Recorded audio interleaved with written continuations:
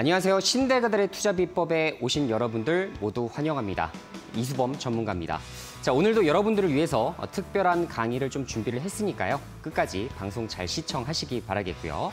자, 방송 시간 이외에도 저와 함께 하실 수 있는 방법부터 안내 도와드리도록 하겠습니다. 자, 먼저 문자로 샵 3772로 이수범 제 이름 보내주시면 어, 저희가 확인 뒤에 여러분들 아, 노란 톡방에 입장하실 수 있는 방법에 대해서도 안내를 도와드릴 거고요. 자 그리고 스마트폰 카메라로 QR코드 직접 스캔하시면 저희 채널 톡 추가가 가능하십니다. 채널톡 추가하신 이후에 저희가 어, 노란톡방 입장 방법에 대해서 자세하게 나와 있기 때문에 그렇게 좀 입장을 좀 해주시면 좋을 것 같고요. 자 실시간으로 중요한 이슈들 그리고 시장 상황 그리고 관심 종목까지 모두 오픈을 좀 해드리고 있기 때문에 어, 편안하게 그렇게 활용을 하시면 좋을 것 같습니다.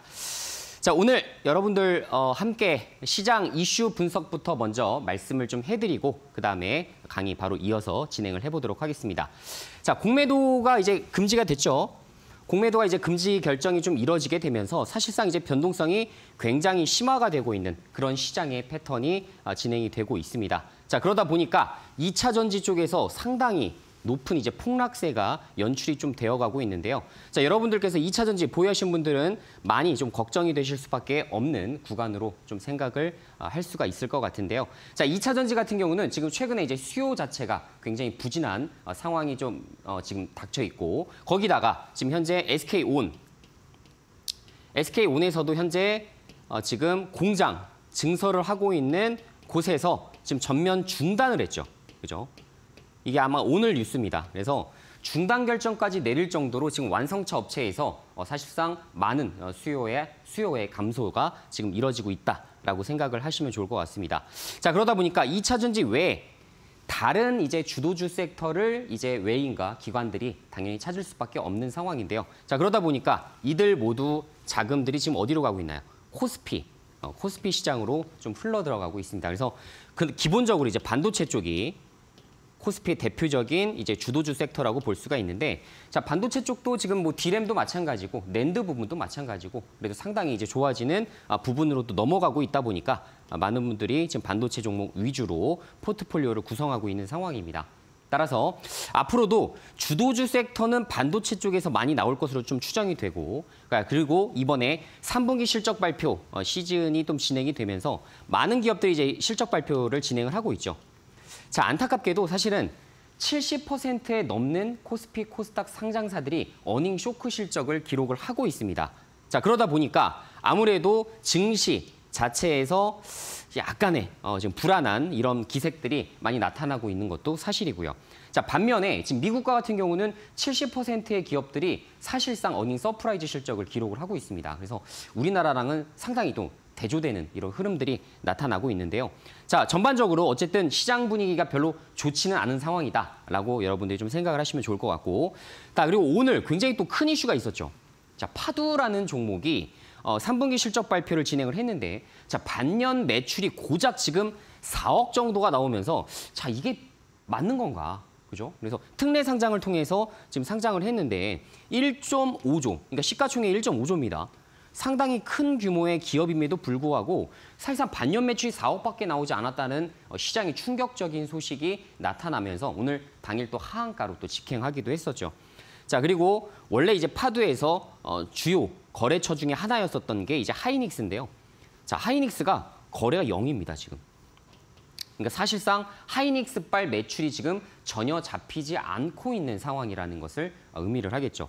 자, 굉장히 좀 특이한 케이스인데 어쨌든 이런 여러 가지 이제 불확실성들 그리고 이런 악재 소식들이 좀 전달되기 시작하면서 시장에서 좀 많은 좀 침체가 나타나고 있는 사, 상, 상황이다. 이렇게 생각을 하시면 될 것 같습니다. 자, 지금 시장 상황을 좀 더 분석을 좀 해보면요. 자, 그럼에도 불구하고 또 여러 가지 요건상 또 좋은 부분들도 좀 있습니다. 자, 일단 10년물 국채 금리가 아시겠지만 4.5%대까지 지금 낮아지고 있죠.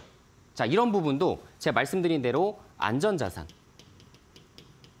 안전자산에 대한 이제 선호 현상이 조금 줄어들 수 있다는 것을 또 의미를 하겠죠. 자, 그러면 이렇게 지금 국채 금리가 떨어지다 보면 당연히 이게 자본시장으로 또 흘러들어올 수가 있기 때문에 지금 현재는 어, 내년까지는 그래도 좀 괜찮은 시장이 아, 나타나지 않을까 이렇게 좀 기대를 해보셔도 좋을 것 같습니다. 자 그리고 국제유가 역시 지금 75달러 부근에서 어, 많은 움직임이 좀 나타나고 있는데요. 자 아시겠지만 국제유가라는 것은 소비자 물가랑 지금 굉장히 밀접한 관계가 있기 때문에 만약에 만약에 국제유가가 70달러 부근에서 계속 움직여준다면 여기서 이제 안착을 시도하게 된다면 사실상 12월 달에 아, 미국이 금리 인상할 확률이 상당히 많이 줄어듭니다. 지금 월가에서는 사실 대략 한 60% 확률로 이제 뭐 금리 인상을 한다 이런 이야기들이 좀 오가고 있는데요. 어쨌든 이 확률을 많이 낮출 수 있다는 것만으로도 시장의 어, 수급 요인들이 상당히 많이 개선되기 때문에 우리가 어, 증시 안정화가 될 가능성도 있다라는 거 좀 기억을 하셔도 좋을 것 같습니다. 자 그리고 우리나라 이제 특수한 이제 불확실성적인 요소인데요. 대주주 양도세 물량들이 항상 나타나다 보니까 이제 11월 달, 12월 달에 항상 주식 시장이 폭락하는 이런 상황들이 많이 발생을 합니다. 그런데 오늘 또 어, 뉴스로 좀 들린 부분인데요. 대주주 양도세 물량, 그러니까 지금 완화, 완화시켜서 10억 정도의 아, 대주주 요건을 지금 20억 이상, 그러니까 20억 플러스 알파 개념으로 지금 어, 지금 조율 중에 있다. 아직 공식적으로 발표한 건 아닙니다. 만약에 이것까지 완비가 된다라고 한다면 그래도 11월, 12월 여러분들 시장을 좀 기대를 해주셔도 저는 되는 구간이라고 판단을 하고 있기 때문에 여러분들이 좀 이런 부분들도 좀 참고하셔서 진행을 하시면 좋을 것 같습니다. 자, 바로 이제 강의 아, 이어서 좀 진행을 할 건데요. 자, 강의 말씀드리고 어, 간단하게 이제 시장 상황 분석은 이것으로 마치도록 하겠고요. 강의 이전 어, 오늘 강의 굉장히 특별한 강의를 좀 준비를 했기 때문에 끝까지 방송 잘 시청하시면 좋을 것 같습니다.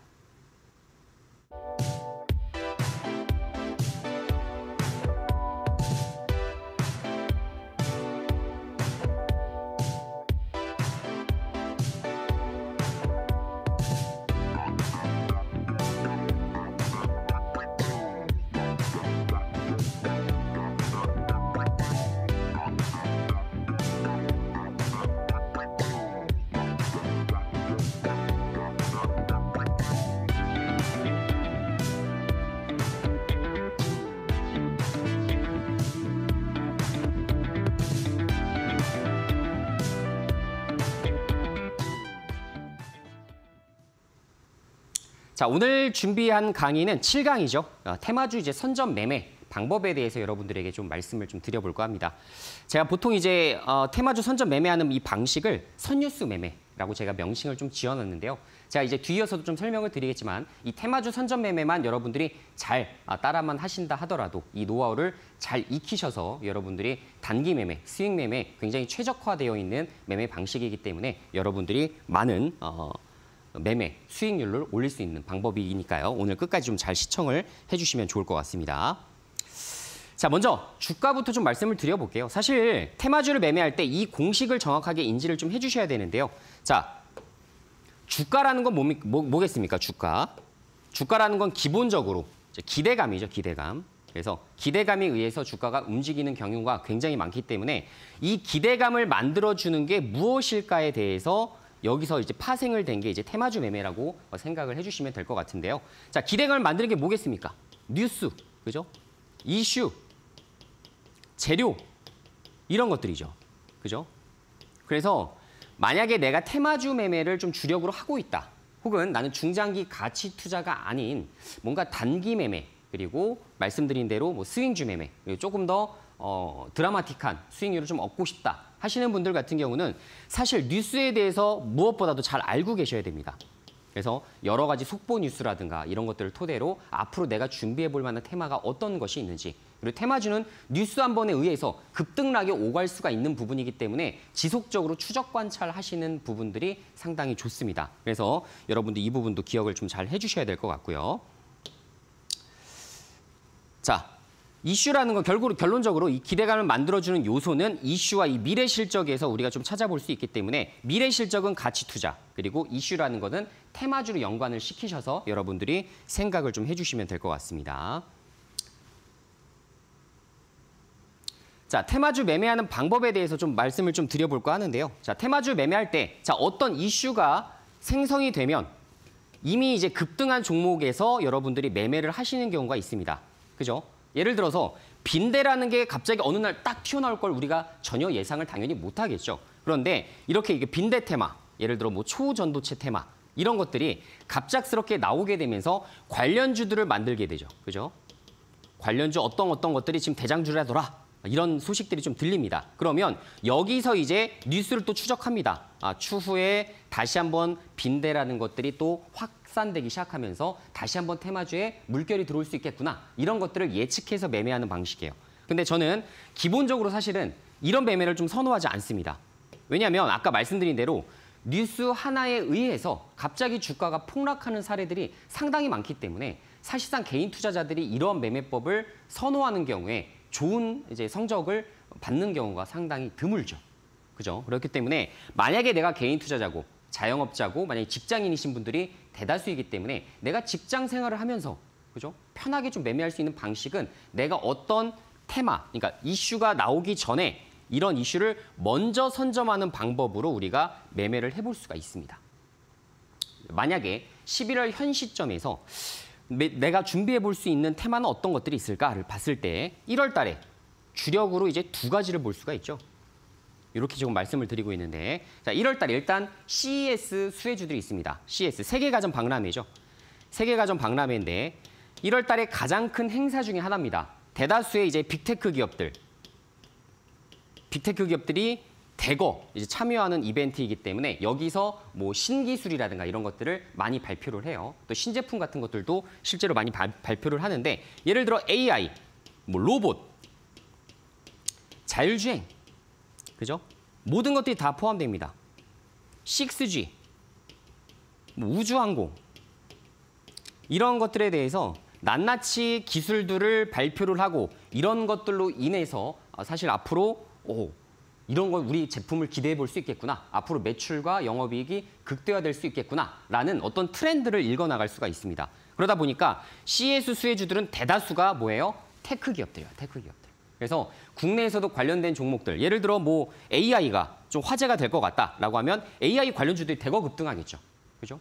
그런데 우리는 뉴스를 먼저 기다려보는 입장이기 때문에 그러니까 1월 달 이슈를 우리가 먼저 선점해서 11월, 12월 준비를 잘 하고 거기서 이제 종목을 잘 모아나가게 되면 1월 달에 관련된 수혜주다라는 게 딱 거론돼서 기대감으로 인해 주가가 급등할 때 우리는 매도할 수 있는 전략 이런 것들을 취해 나가실 수가 있습니다.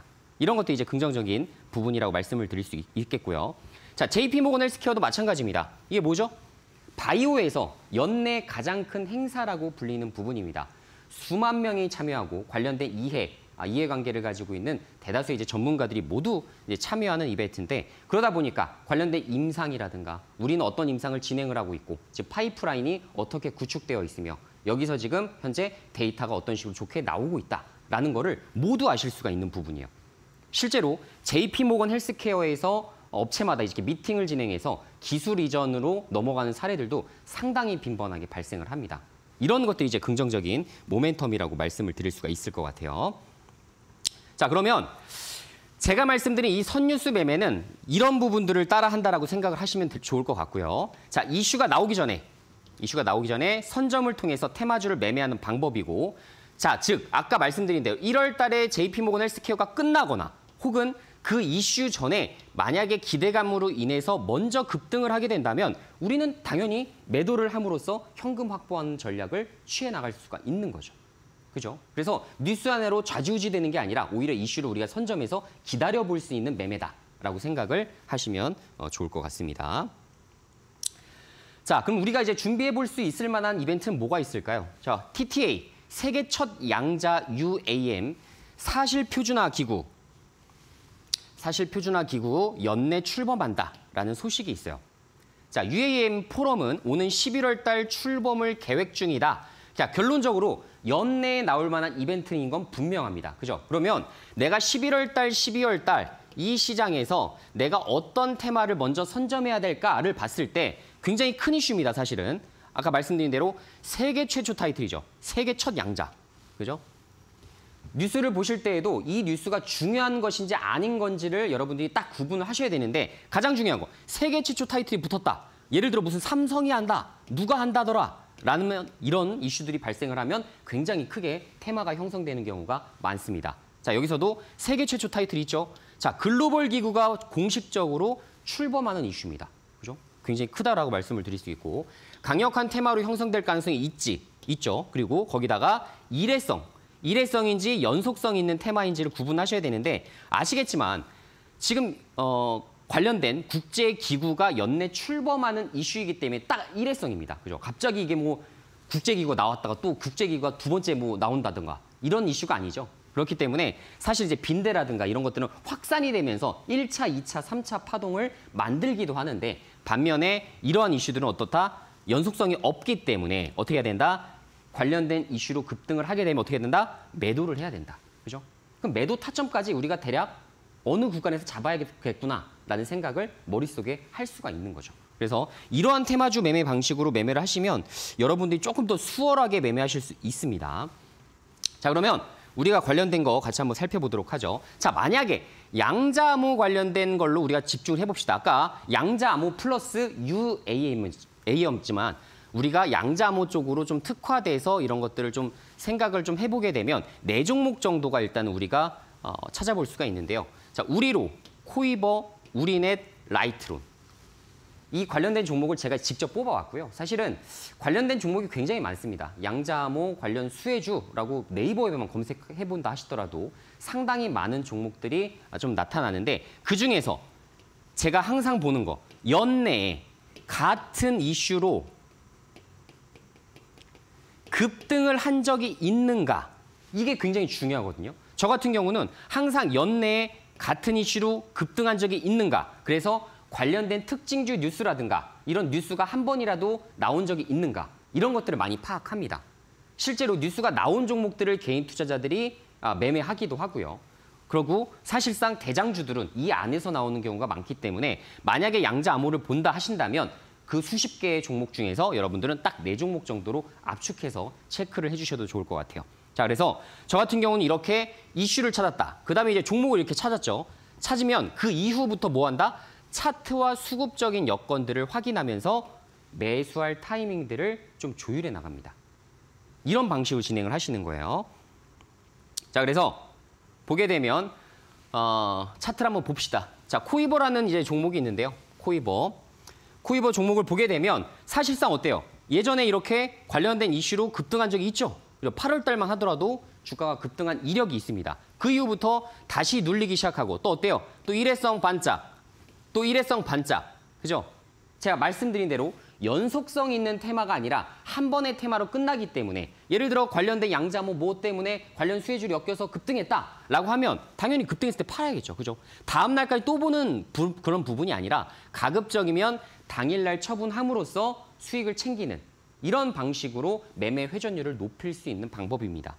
자, 코이버 일봉 차트를 보시면 결국 결론적으로는 지금 다시 바닥권에 위치하고 있죠. 그죠? 아직은 정확하게 이제 관련된 수급들이 유입됐다라고 보기에는 좀 어렵습니다. 하지만 정확한 것은 바닥 구간을 그래도 지금 현재 만들어가고 있다는 점은 상당히 긍정적인 모멘텀 중에 또 하나가 되겠죠. 그래서 서서히 제가 말씀드린 대로 12월 안에 이슈화가 될 수가 있기 때문에 11월, 12월 달 잘 추적하시면서 어, 관련된 어, 타점을 좀 모아 나가시는 이런 부분으로 진행을 해보셔도 좋을 것 같습니다. 자, 그리고 다음 종목 한번 볼까요? 자, 다음 종목.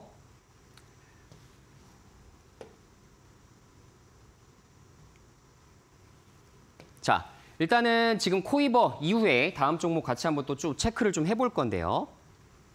음, 일단 지금 페이지가 좀 잘 안 넘어가고 있는 것 같은데. 자, 어쨌든 이제 코이버 이렇게 관련된 종목들을 여러분들이 이제 체크하시는 게 가능하다 그러고 생각을 하시면 좋을 것 같고요. 자, 다음 종목 우리로 같이 한번 또 체크를 또 해보도록 하겠습니다. 자, 우리로도 보게 되시면 아시겠지만 이렇게 급등이 나오죠. 그죠? 관련된 종목들이 주가 이렇게 급등이 나오는 경우가 있는데 이렇게 이것도 같은 이슈죠. 8월 달에 급등했다라는 거. 아까도 코이버랑 비슷하죠.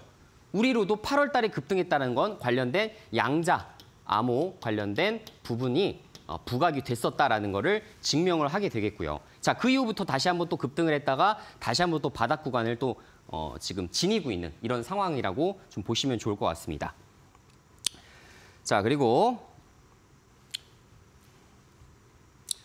자, 라이트론 종목도 같이 한번 또 체크를 좀 해보도록 할게요. 자, 라이트론 종목도 비슷하죠? 사실 비슷합니다. 결론적으로는 급등이 이렇게 한 번씩 나오고 다시 한번 바닥 구간을 거쳐서 지금 현재 어, 라이트론 같은 경우는 지금 저점을 다지고서 지금 한 30% 넘게 지금 폭등을 좀 해주고 있는데 이런 원인이 뭐냐면 사실 라이트론 같은 경우는 200억 CB를 최근에 발행한 바가 있습니다.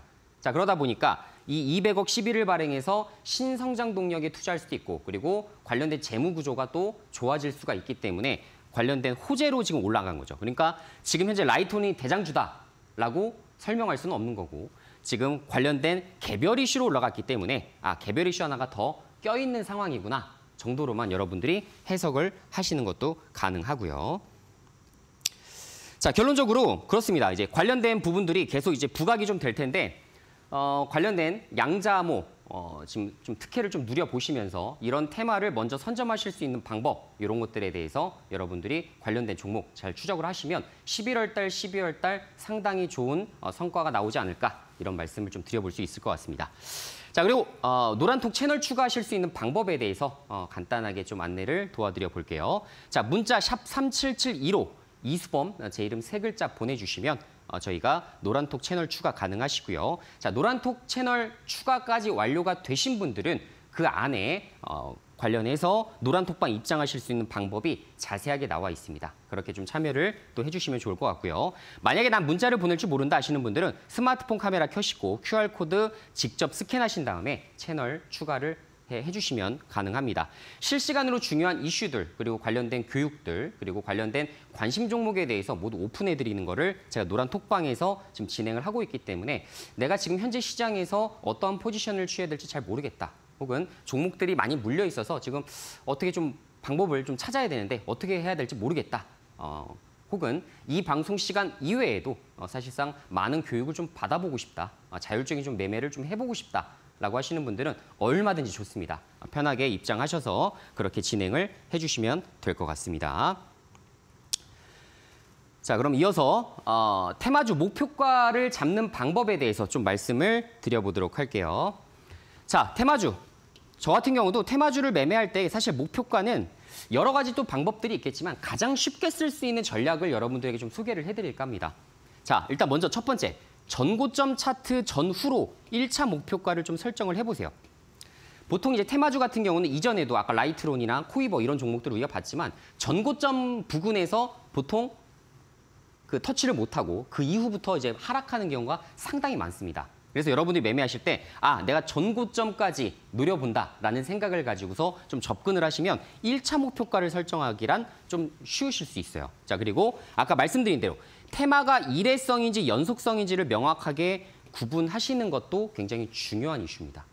그죠? 만약에 일회성 테마인데 이거를 내가 욕심을 더 내서 어, 수익률이 좀 더 나올 것으로 좀 기대를 해서 오히려 갖고 있다 보면 수익을 반납하는 경우가 상당히 많이 발생합니다.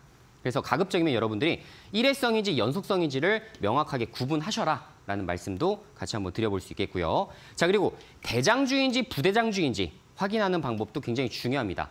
보통 아까도 말씀드렸지만 양자암호 제가 네 종목을 여러분들에게 소개를 해드렸죠. 자, 그중에서 가장 강하게 움직이는 종목이 분명히 있을 겁니다. 그게 대장주겠죠. 그죠? 그리고 당연히 그것보다도 이제 못다한 아, 시세를 내주는 걸 우리가 이제 부대장주다 라고 이제 보통 표현을 하는데 자, 대장주를 좀 체크하시면서 대장주의 수급들이 서서히 빠지기 시작한다라고 하면 우리는 부대장주를 갖고 있는 입장에서는 빠르게 이제 정리를 좀 해주셔야겠죠. 그래서 대장주의 주가 흐름을 그 어느 것보다도 여러분들이 관심을 많이 두셔야 됩니다. 자 그리고 1차 목표가를 달성한 이후부터는 예를 들어 내가 5천 원에 샀어요. 근데 6천 원까지 주가 갔습니다. 전고점이에요. 매도하겠죠. 자 이때 절반 매도를 합니다. 2차 목표가 어떻게 설정할 수 있을까요? 만약에 6천 원, 6,300원 이렇게 움직여요. 움직이겠죠? 움직일 때 여러분들이 중요하게 생각하실 거는 다시 6천 원까지 빠지게 된다면 1차 목표가 설정한 가격보다도 그 이하로 빠지게 된다면 그때는 전량 매도를 해주셔야 됩니다. 보통은 이런 것들 잘 못 지키세요. 음, 6,300원까지 올라가서 조금 더 욕심 부려보자 6,500원 이렇게 갈 수도 있겠죠. 근데 1차 목표가를 찍은 이후로 어떻게 돼요? 주가가 확 빠져버리는 경우도 발생할 겁니다. 그때는 내가 가진 물량들을 당연히 정리를 해서 현금 확보를 해주시는 게 굉장히 중요하다. 라는 말씀 좀 드려볼 수 있을 것 같고요. 자, 이런 식으로 우리가 좀 목표 주가를 좀 책정하는 아, 예시를 한번 실제로 한번 들어보도록 할 텐데 자, 먼저 우리 기술 투자라는 종목입니다. 뭐 다 아시겠죠? 관련된 이제 비트코인. 그죠? 비트코인이 올라간다라고 하면 뭐 움직여요? 우리 기술 투자. 그리고 위지트. 그죠? 대표적으로 이런 종목들이 좀 움직이는데 자, 우리 기술 투자도 비슷합니다. 자, 이렇게 일봉으로 좀 보게 되면 아, 어디서 목표가를 잡아야 될지가 많이 헷갈릴 때가 많으실 거예요. 근데 이때도 보면 11월 9일 날짜인데 오늘 5,580원 최고점을 찍은 이후로 쭉 밀립니다. 상승폭을 많이 반납하죠. 자, 이것만 봤을 때에는 목표 주가를 도대체 어떻게 책정해야 될지 좀 헷갈리실 수 있어요. 그런데 만약에 이거를 우리가 주봉으로 보게 된다면 훨씬 더 쉽게 이해를 하실 수가 있습니다. 자, 보시다시피 제가 쭉 건었죠, 선. 그죠? 예전에 이제 전 고점에 해당될 때 이때부터 이제 주가가 빠지는 것이 눈에 띄잖아요. 그죠? 자, 실제로 그렇기 때문에 오늘 같은 경우도 이 구간을 돌파를 하지 못하고 여기서 조정을 받은 겁니다. 물론 향후에 비트코인이 더 강하게 또 상승이 나오고 이렇게 된다면 뭐, 비, 뭐 비트코인 ETF, 뭐 현물 승인이라든가 이런 것들이 진행이 되게 되면 주가가 더 올라갈 수는 있겠죠. 그런데 지금 현재까지로 봤을 때 1차 목표가 설정할 때 어떻게 한다? 전고점 부분, 항상 전고점 부분. 이런 부분에서 내가 정리를 해줘야 된다는 거죠. 그죠? 그래서 이렇게 목표가를 설정하실 때에는 항상 일봉보다는 주봉으로 열어두고서 어, 예전에 관련된 테마가 부각되었을 때 관련된 재료가 노출되었을 때 얼마나 주가가 급등했는가라는 거를 이렇게 좀 추적을 해볼 수 있다는 거 잘 기억을 하시면 될 것 같습니다. 자, 이거 보시는 대로 이제 관련된 재료가 좀 나오는데요. 재료 뭡니까? 현물 ETF 승인이죠. 언제 떨어질지 몰라요. 그죠? 그러나 아까 말씀드린 대로 테마주는 뭐다? 기대감. 그죠? 기대감이 그대로 나옵니다. 그래서 3만 6천 달러까지도 넘었다라는 얘기가 들리면서 그리고 현물 ETF 지금 개봉박두 하고 그레이스케일이 지금 어, 지금 증권 증권거래위원회와 논의를 하고 있다라는 부분이 좀 노출되면서 관련된 어, 기대감으로 이제 급등을 했다 이렇게 말씀을 좀 드릴 수도 있겠네요. 자 결론적으로는 이렇습니다. 어, 결론적으로는 이런 것들을 여러분들이 어떤 것보다도 여러분들이 잘 추적을 좀 하셔야 이슈를 선점할 수 있고 테마주에 대한 목표 주가까지도 설정이 가능하시기 때문에 어, 그렇게 활용을 좀 해주시면 좋을 것 같고요. 자 이쯤에서 다시 한번 여러분들 이 방송 시간 이외에도 함께 하실 수 있는 방법에 대해서 말씀드려 보도록 하겠습니다.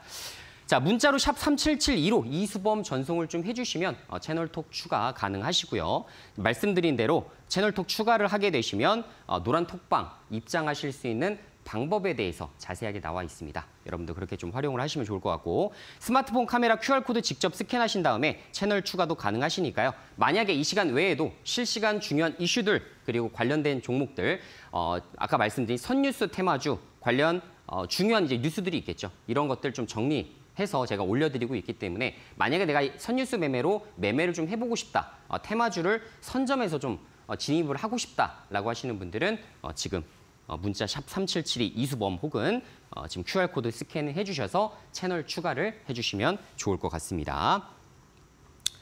자 그리고 슈팅스타 일주일 체험권도 같이 지금 보내드리고 있는데요. 만약에 내가 어, 지금 어떤 종목을 매수해야 될지 정확하게 감을 못 잡고 있다. 혹은 최근에 손실이 좀 많이 심해져서 좀 손실을 만회할 수 있을 만한 이런 전략적인 종목을 원한다. 하시는 분들은 제가 투자 아이디어와 기업 분석, 차트와 수급까지 모든 요건들을 갖춘 종목을 일주일 동안 무료로 체험권을 보내드리고 있기 때문에 어려운 시장에 한 줄기 빛이 될 만한 이런 슈팅스타 종목 체험권을 꼭 받아보셔서 여러분들이 어, 어떤 종목을 매매해야 되나 어, 실제 트레이더들은 어떤 종목을 매매할까 거기에 대한 강력한 또 힌트를 얻어가시면 좋을 것 같습니다. 다시 말씀드리지만 받고 싶으신 분들은 문자 샵 3772번으로 이수범 제 이름 세 글자 보내주시면 슈팅스타 일주일 체험권 전원에게 지금 보내드리고 있습니다. 사실 제가 지난주에도 이제 매매했었던 종목들이 상당히 많았는데 굉장히 좋은 또 성과를 좀 내가, 내고 있기 때문에 여러분들이 이번 주에도 잘 신청하셔서 다음 주에 좋은 종목들 어, 매매함으로써 여러분들 수익 극대화를 같이 좀 진행을 해주시면 좋을 것 같습니다. 자, 그럼 관련된 아, 강의는 좀 마치도록 하겠고요. 이어서 HTS 강의로 여러분들 인사드리도록 하겠습니다.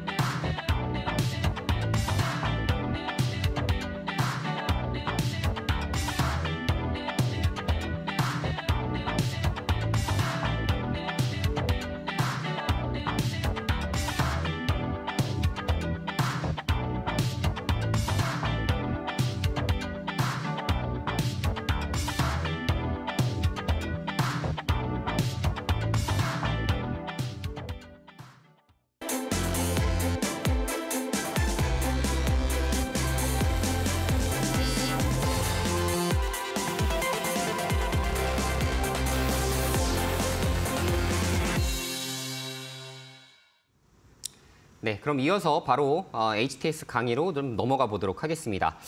자, 먼저 저희 첫 번째 종목인데요. 코리아나라는 종목부터 같이 한번 또 체크를 해보겠습니다. 사실 지난주에 어, 제가 이제 코리아나 관련된 종목 어, 여러분들께 관심 종목으로 좀 선정을 해드리면서 관련 관, 어, 관련된 테마가 부각이 될 수가 있다. 그리고 현재 11월 11일 광군제와 블랙 프라이데이를 앞두고 분명히 기대감으로 인해서 한 번은 급등할 여지가 높다라는 걸 좀 설명드리면서 코리아나를 말씀드렸는데 자 그 이후부터 이렇게 지금 주가가 꽤 올라갔었죠, 그죠?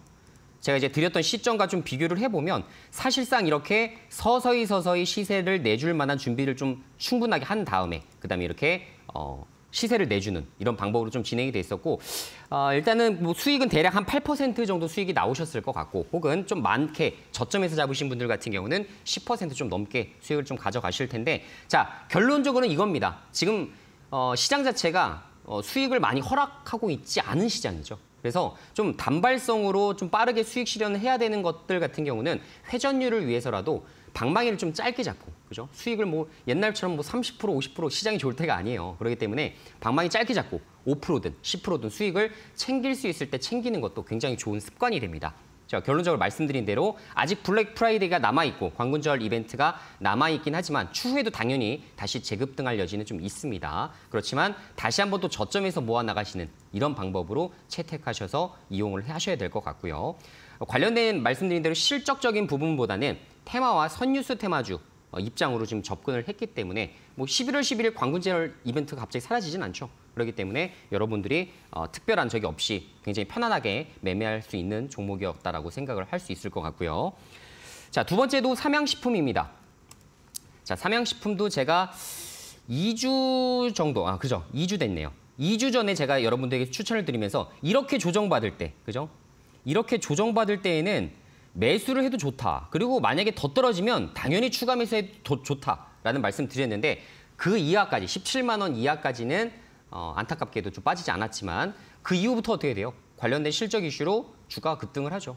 그래서 라면 관련된 종목은 사실 실적의 변동성이 거의 없습니다. 식품이잖아요. 갑자기 우리가 라면을 먹다가 안 먹을 수는 없습니다. 어, 기호식품이기도 하지만 불닭볶음면을 토대로 지금 삼양식품이 엄청난 제2의 전성기를 지금 현재 누리고 있는 실정이기 때문에 사실 3분기 실적 외에도 4분기 그리고 내년 실적도 상당히 좋게 좀 전망이 되고 있거든요. 자, 실제로 관련된 부분들을 좀 보게 되면 실적을 한번 보여드릴게요. 자, 실적을 보게 되면 연간 실적 단위로도 상당히 좋은 어, 퍼포먼스를 지금 내갈 것으로 좀 기대가 됩니다. 자, 이번 아직 그 3분기 실적 발표는 안 됐는데 매출액과 영업이익이 지금 350억 정도 사실 좀 낮게 잡혀 있기 때문에 충분하게 컨센에 부합하는 실적을 발표할 것으로 보여지고요. 자, 이렇게 연간 실적 보시다시피 지금 올해 어, 영업이익은 1,300억. 그러니까 작년도 900억에서 1,300억까지 굉장히 50% 이상 영업이익이 폭증하는 사실 아까도 말씀드렸지만 대다수의 기업들이 지금 어닝 쇼크 실적을 기록하고 있는데 삼양식품은 그것을 비껴가고 있는 종목이라는 점에서 상당히 주가가 견조하게 움직이고 있다라고 볼 수, 보실 수가 있으실 것 같고요. 자 내년도와 내후년도에도 대폭적인 실적 성장이 지속적으로 이어지면서 사실상 PER 10배 정도로 사기에는 너무나 저렴한 종목이라는 얘기가 되겠죠. 그래서 그런 시장에 대한 공감대가 형성되기 시작하면 결론적으로 주가가 재평가받을 가능성이 높다. 그래서 지금 현재 2025년 실적 대비 피해 10배 정도 수준까지도 주가가 급등했다. 이렇게 말씀을 드릴 수가 있을 것 같습니다. 결론적으로 삼양식품도 어, 지금 한 15% 정도 아마 수익이 가능하셨을 거라 생각이 들어요. 자, 그리고 세 번째. 자, 이오 테크닉스입니다. 자, 이거는 뭐 지금 당장의 주가 급등, 물론 이제 제가 이제 말씀드렸었던 그 구간대들보다는 사실 많이 올라왔어요. 자, 이거는 제가 이제 뭐 종목 상담 119에서도 여러 차례 뭐 말씀을 드렸었고 또 추천을 예전에 이제 수개월 전에 드리기도 했었는데 사실상 좀 보게 되면 단발성, 그러니까 단기 매매 관점에서도 접근하기 용이한 반도체 기업이다. 라는 말씀을 드렸었죠. 특히나 HBM에 대한 수요는 정말 견조하고 성장성이 갑자기 고꾸라질 일이 거의 없습니다. 그렇기 때문에 현재 하이닉스와 삼성전자 어, 이 양대 지금 어, 종목들이 사실상 시장 주면 90% 정도를 독점하고 있는 상황인데요. 자, 지금 현재 보시다시피 주가가 이렇게 시장 분위기가 별로 좋지 않은 상황 속에서도 잘 견조하게 유지가 되고 있잖아요. 그래서 결론적으로는 향후에도 어떻다? 전고점까지는 다시 한번 갈 겨를이 분명히 있다. 여기 전고점 얼마예요?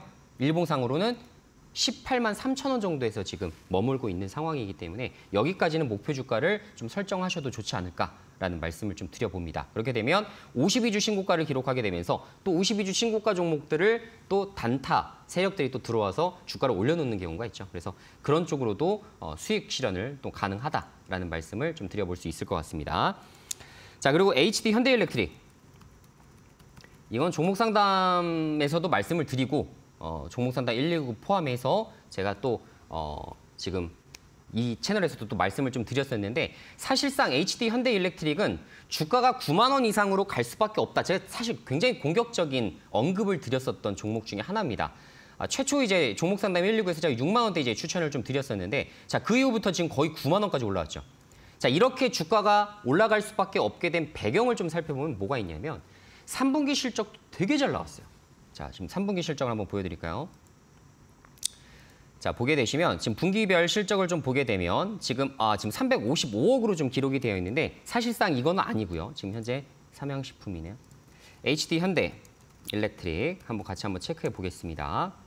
자, 보게 되면 지금 3분기 실적이 발표가 됐죠. 근데 보통 아, 3분기 실적이 좋지 않은 경우가 뭐냐면 영업일수가 굉장히 작았어요. 그죠? 변압기 초 이제 초대형 변압기를 생산해내고 있는 업체인데 사실 3분기 한 15일 정도 조업 일수가 좀 줄어들었습니다. 그러니까 영업 일수가 줄어들었음에도 불구하고 지금 엄청나게 폭발적인 영업이익을 지금 찍어버린 겁니다. 자, 그런데 이 구조가 이 3분기에서 끝나냐? 절대 그렇지 않아요. 현재 지금 수주잔고가 4년치일감이 모두 쌓여 있거든요. 그렇기 때문에 2027년까지는 계속적으로 실적이 좋아질 수밖에 없겠죠. 그런데 여기서 끝나냐? 그렇지 않죠. 인도와 베트남, 지금 현재 엄청나게 전력 인프라를 구축하기 위해서 여러 가지 좀 투자가 동시에 좀 집행 중이고요. 뿐만 아니라 미국에서 말씀드린 대로 노후화된 이런 변압기 교체 수요가 동시에 어, 발생되기 시작하면서 앞으로도 상당히 좋아질 어, 여지가 높은 기업이라고 말씀드릴 수 있을 것 같습니다. 그래서 어, HD 현대일렉트릭은 아, 지금 주가가 뭐 8만 원 가는데 지금 조금 빠지는데요. 이런 것들을 생각하실 게 아니라 오히려 장기적인 전망을 보시고 꾸준하게 홀딩하시거나 조정시마다 모아나가셔서 더 큰 수익을 누리셔야 되는 이런 종목이라고 말씀드릴 수 있을 것 같습니다. 자, 결론적으로는 연간 단위로 실적이 굉장히 많이 좋아질 예정이기 때문에 실적에 대한 걱정은 많이 덜어놓으셔도 되는 종목이다. 자, 그리고 내년도 이제 단기 순이익 기준으로 2,500억 정도가 나오기 때문에 현재 내년 기준으로 PR이 약 한 10배 정도에 머물고 있어서 그렇게 비싸다고 보기에도 상당히 어렵다. 그죠? 말씀드린 대로 성장 산업이고 그리고 cyclical 산업이기 때문에 워낙 이제 한 번에 어, 수주를 많이 따내게 되면 3, 4년 동안 실적이 굉장히 좋아질 여지가 높은 이런 종목이라 말씀드릴 수 있겠네요. 자, 그리고 효성중공업. 이것도 비슷합니다. 그죠? 같은 이제 아, 변압기 업체인데 여기는 이제 건설업까지 같이 영위하다 보니까 사실 valuation 산정하기가 꽤 까다로운 종목 중에 하나예요. 그래서 제가 말씀드린 대로 만약에 변압기 종목을 내가 사고 싶다라고 한다면 HD 현대일렉트릭이 탑픽일 수밖에 없다. 라는 것도 여러분들에게 한번 말씀드린 적이 있었는데 자 결론적으로 효선중공업이 저평가받고 있는 는 건설 부문이 어떻게 될지 모르기 때문입니다. 지금 부동산 경기도 좀 악화가 되고 있고 지금 뭐 제주부터 시작해서 지금 어 지금 지방에 또 한 군데 이제 분양 일정들이 좀 잡혀 있는 걸 제가 확인한 적이 있는데 자 그러다 보니까 만약에 분양이 좀 제대로 잘 안 됐다 미분양이 좀 났다라고 하면 어 지금 변압기 쪽에서 많은 돈들을 번다 하더라도 어디서 까먹겠어요? 건설 부문에서 까먹을 수가 있겠죠. 그러다 보니까 지금 다른 변압기 업체들에 비해서는 상당히 valuation이 저렴합니다. 실제로 보게 되면 아까 10배가 좀 넘었었죠. 자, 지금 효성중공업은 내년도 실적 기준 당기 순이익이 2,800억 정도가 잡혀 있는 상황인데 어때요? PER이 지금 5배 내지 6배 정도밖에 되지 않습니다. 좀 저평가라고 볼 수가 있겠지만 말씀드린 대로 저평가 요인은 뭐다? 아까 말씀드린 건설 부문 때문이다. 라고 생각을 하시면 좋을 것 같고요. 자, 효성중공업 보게 되면 지금 어, 굉장히 견조하게 좀 움직임이 나타나고 있고 효성중공업도 수주가 매우 좋습니다. 어, 한 3년치 정도의 일감을 좀 쌓아두고 있는 상황이기 때문에 여기에 대해서 여러분들이 잘 좀 평가를 좀 해주시면 좋을 것 같고요. 제 생각에는 건설 부문이 만약에 나쁘지 않다라는 전제하에 전고점까지 다시 한번 찍을 확률이 굉장히 높아요. 그래서 분양 일정도 한번 체크해 보시고 여기 미분양이 안 난다. 생각보다 어, 많은 사람들이 부동산을 살려고 한다. 라는 것들이 확인되시면 효성중공업이 제대로 또 가치를 입증받을 수가 있습니다. 그래서 upside로 봤을 때에는 효성중공업이 조금 더 어, 드라마틱하게, critical하게 올라갈 가능성은 있겠다. 이렇게 말씀드릴 수 있을 것 같네요. 자, 그래서 전고점까지 목표 주가 좀 설정을 해보시는 것도 괜찮은 방법이 되실 수가 있으실 것 같습니다. 자 그리고 엔, 어, 지금 엔텔스라는 종목도 같이 한번 살펴볼 건데 보통 테마주 같은 거 매매할 때 제가 가장 좋아하는 차트의 패턴이 이런 엔텔스에서 나옵니다. 지금 보시는 대로 어떻습니까? 바닥 구간, 그죠? 지금 이렇게 박스권에서 계속 맴돌고 있는 부분들이 좀 눈에 띄잖아요. 그죠? 그러면 이 박스권에서 내가 박스권 하단에서 서서히 서서히 모아나가는 전략을 피게 된다면 관련된 테마 재료가 노출됐을 때 어떻게 됩니까? 지금 9월 19일자 날짜로 보게 되면 상한가를 한번 가고 그 이후부터 또 28%, 그러니까 총 한 60% 가까운 수익률을 단기에 내볼 수가 있었던 종목 특징이라고 말씀드릴 수가 있을 것 같은데요. 자, 그 이후에 다시 지금 저점을 다지고 있는 이런 흐름들이 나타나기 시작합니다. 이런 관점에서는 어, 엔텔스 관련된 어, 재료가 뭔지는 모르겠지만 그 재료가 한번 노출이 되면 상당히 재미있는 주가가 나타날 수 있겠구나 정도로 우리가 확인해 볼 수가 있을 것 같죠. 자, 근데 보게 되면 스타링크와 뭐 협업을 하고 있다, 뭐 SK가 주요 주주로 부각이 됐다 이런 소식이 들릴 때 주가가 급등한 적이 있었고요. 즉 스타링크 관련된 소식이 언제 나오는지를 여러분들이 계속 뉴스를 좀 추적하시면 엔텔스라는 기업에서 또 상당히 테마주적으로도 어, 좋은 성과를 나타낼 수 있을 것 같다라는 말씀도 같이 한번 드려볼 수 있을 것 같네요. 자, 스타링크가 요새 최근에 뉴스를 서서히 내보내기 시작합니다. 어, 그런 것들이 제 눈에 지금 띄기 시작을 했거든요. 분명 이제 연내 한 번은 엔텔스의 주가가 다시 한번 굉장히 좋은 면모를 좀 보일 수가 있기 때문에 사실상 목표 주가 한 6천 원 이상 보시더라도 상당히 좋은 메리트가 될 수 있는 그런 종목이 되실 수가 있다는 점 참고를 좀 해주시면 좋을 것 같고요. 자 그리고 현대로템 굉장히 사실 애증의 종목 중에 하나죠. 지금 기업의 가치가 상당히 좋음에도 불구하고 굉장히 안타까운 것은 지금 현대로템 뭡니까? 지금 수출입은행에서 지금 한도 증액을 못 해주고 있다 보니까 여러 지금 어 지금 국가에서 폴란드를 포함해서 여러 지금 유럽 국가에서 지금 방산 어, 지금 발주를 좀 내려고 하는데 돈을 빌려주는 곳들이 없다 보니까 사실상 지금 어, 수주가 이어지지 못하고 있는 실정입니다. 분명히 이제 연내 좋은 소식들이 좀 들리겠죠. 그리고 지금 현재 5대 시중은행도 함께 힘을 합쳐서 지금 어, 금융 지원을 해주는 것으로 지금 가닥이 좀 잡혀 나가고 있기 때문에 어, 관련된 발표가 정확하게 노출이 되게 된다면 어, 방산주도 다시 한번 크게 올라갈 수 있을 것이라 생각하고요. 한화에어로스페이스는 3분기 실적을 좋게 발표했기 때문에 현대로템보다는 상당히 좋은 차트의 모습들을 그려나가고 있습니다. 근데 현대로템은 3분기 실적이 조금 미미했기 때문에 지금 아직도 바닥에서 좀 맴돌고 있는데요. 자, 결론적으로는 이제 현대로템이 가지고 있는 어, 전형적인 또 이런 valuation이 있기 때문에 앞으로 상승 여력을 봤을 때에는 한화에어로스페이스보다는 현대로템이 조금 더 열려 있지 않을까 라는 생각을 좀 하게 되고요. 자, 이번에 폴란드 다시 2차 발주가 연내 꼭 등장하기를 다시 한번 바라는 마음에서 현대로템 관심 종목으로 한번 가져와 봤으니까요. 참고를 좀 해주시면 좋을 것 같고 제 개인적으로 사실 2만 원 초중반에 잡아서 사실 손실을 본 적이 거의 없는 종목 중에 하나입니다. 현대로템을 들어가서 제가 손실 낸 기억이 전혀 없어요. 그래서 그만큼 현대로템은 2만 원 초중반에 잡아서 3만 원대 이런 매도하는 이런 전략들을 좀 피게 되면 굉장히 어, 좋은 어, 수익으로 또 연결을 시킬 수가 있기 때문에 잘 참고하셔서 진행을 해주시면 좋을 것 같고요. 자 마지막으로 히림 종목 같이 한번 체크해 보겠습니다. 자 히림도 굉장히 비슷해요. 지금 보게 되시면 어, 지금 최근에 막 뭐 한 번씩 막 부각되는 이런 부분들이 좀 나타나긴 하지만 아직도 다시 한번 단발성 이슈를 가져갈 수 있는 부분이고요. 자 주봉상으로 본다 하더라도 지금 굉장히 비싼 구간이 있다라는 생각이 안 드시죠, 그렇죠? 그렇기 때문에 관련된 어, 특수한 또 재료를 좀 막, 맞이하게 된다면 히림 종목도 굉장히 좋은 어, 주가로 올라갈 수가 있다는 거 기억을 하시고요. 아시겠지만 히림은 이제 사우디 관련된 소식이 등장할 때마다 이렇게 특징주 뉴스를 꾸준하게 냈었던 부분들이 있습니다. 그래서 아까 말씀드린 대로 사우디 관련된 거는 연내까지도 계속되고 있죠. 그렇기 때문에 결론적으로는 여기서도 시세를 한번 크게 내줄 수 있다는 거 꼭 기억을 해두시고 지금 8천 원대, 그러니까 예를 들어서 저 같으면 이런 종목을 매수할 때 어떻게 하냐면 예를 들어 한 8천 원대 한번 매수를 하겠죠. 1차 매수를 진행하고 2차 매수는 좀 넉넉하게 열어둡니다. 어, 테마주 특성상 변동폭이 굉장히 커요. 한 번 떨어질 때 10%씩도 빠지기 때문에 항상 2차 매수 관점을 보실 때에는 항상 이전에 이제 저점, 저점 단계에 이르고 있었던 이런 차트적인 부분들을 잘 확인하시고 진입, 진입 하시는 게 좋습니다. 그래서 저라면 1차 8,200원 부근에서 매수할 것 같고 2차는 6,800원대 매수를 해서 사우디 관련 이슈로 부각이 될 때 급등을 할 때 그때 매도하는 이런 시나리오를 좀 그려볼 수가 있을 것 같네요. 그래서 이런 전략적인 부분들 잘 참고하시면 좋을 것 같습니다. 자 오늘도 관심 종목 엔텔스, 현대로템, 히림 이렇게 가볍게 세 종목에 대해서 좀 체크를 좀 해봤고요. 그전 그 이전에 제가 말씀드렸었던 이런 종목에 대한 브리핑도 같이 한번 좀 진행을 했습니다. 어, 잘 참고하시기 바라겠고요. 자 이 방송 시간 이외에도 함께 하실 수 있는 방법 말씀드렸죠. 문자 샵 3772번으로 이수범 보내주시거나 QR코드 직접 스캔하셔서 채널톡 추가를 하시면 채널톡 추가해서 거기서 자세하게 노란톡방 입장하실 수 있는 방법에 대해서도 나와 있습니다. 그 부분 잘 참고를 좀 해주시면 좋을 것 같고요. 자, 최근 이제 9월달, 10월달 시장도 굉장히 어려웠어요.